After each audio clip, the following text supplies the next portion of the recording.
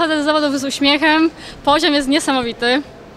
No, rozgrzewka pokazywała, że jestem w stanie poprawić ten rekord życiowy, nie tylko go wyrównać. No ale wiadomo, na rozgrzewce się biega inaczej niż na zawodach. No, jak patrzę na ten poziom, no to cieszy mnie to dziesiąte miejsce. No a sobie myślę, że za rok to trzeba będzie chyba biegać w okolicach rekordu Polski, żeby do, zdobyć, do, zdobyć miejsce w finale. No dobrze, trzeba pracować i, i być coraz szybszą. Wydawała się taka na papierze powiedzmy najsłabszą serią, można tak powiedzieć.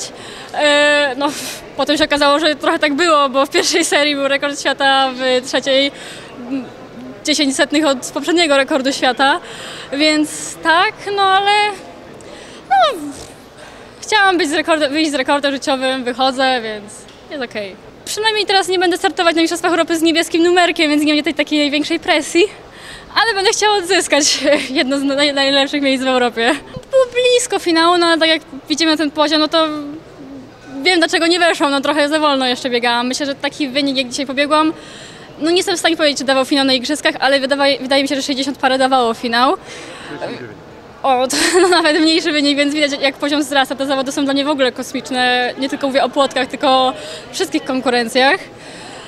No, trzeba gonić świat, na razie jestem dziesiąta, ale za rok kolejne mistrzostwa, no i liczę na tą ósemkę.